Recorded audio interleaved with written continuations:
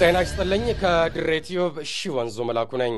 ወደ ኢትዮጵያ ሲጎርፉ የነበሩ ሱዳናውያን አሁን ደግሞ ወደ አገራቸው መመለስ ጀመሩ። ሱዳን ቪዥን የተሰኘው የዜና ምንጭ እንዳስነበበው በአሶሳ የነበሩ 2400 የሚሆኑ ሱዳናውያን ወደ ብሉ ናይል ለመመለስ ፈቃደኛ በመሆናቸው ተመልሰዋል። የተባበሩት መንግስታት ድርጅት የስደተኞች ጉዳይ ኮሚሽን ስደተኞችን ተቀብሏቸዋል። ሱዳን ቪዥን የድርጅቱ ኮሚሽነር የሆኑት አማድ አልጃዞሊን ጠቅሶ እንደዘገበው ከኢትዮጵያ ጋር ስምምነት በመፈራረም ስደተኞቹ እንዲመለሱ የማድረግ ስራ يسرال.